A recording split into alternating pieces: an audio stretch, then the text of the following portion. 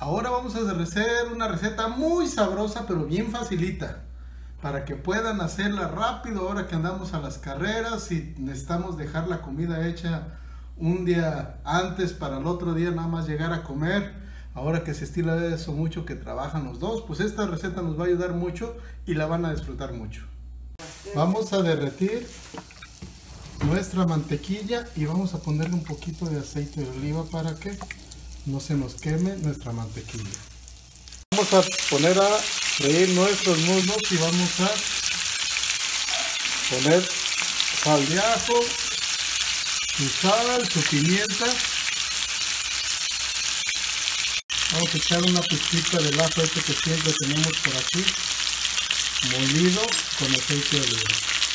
Vean cómo están quedando nuestras piezas de doraditas y ahora vamos a agregar cebolla finamente picada.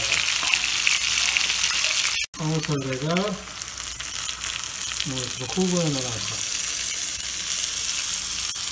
Agregamos también nuestro tocino. Agregamos también nuestro apio. Y vamos a tapar y a dejarlo a fuego mansito. Vean cómo queda nuestro pollo. Así con bastante juguito para que lo podamos comer junto con un bolillito algo así muy rico de veras que lo van a disfrutar